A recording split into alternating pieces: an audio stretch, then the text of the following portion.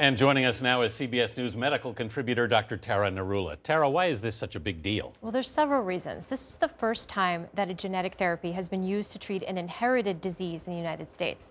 Secondly, it's the first time that a corrective gene has been given directly to the patient.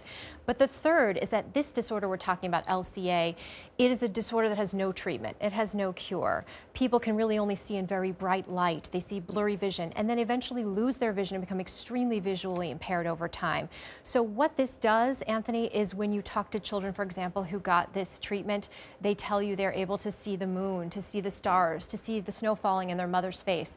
That's the significance of this. It's priceless. Are there, are there, others who could potentially benefit? So there is a population in the United States of about 1,000 to 2,000 individuals who carry this RPE65 gene and, and, a flaw in that gene.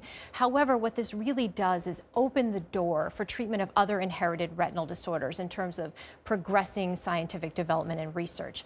We know that this seems to be beneficial early on. We know that it seems to be safe. We don't know yet about what the cost will be and whether people will need more than one treatment down the road. But bottom line, is it gives independence to people. It allows them to function in society, to go to school, to work. Really important. Huge step. Dr. Tara Narula, thanks.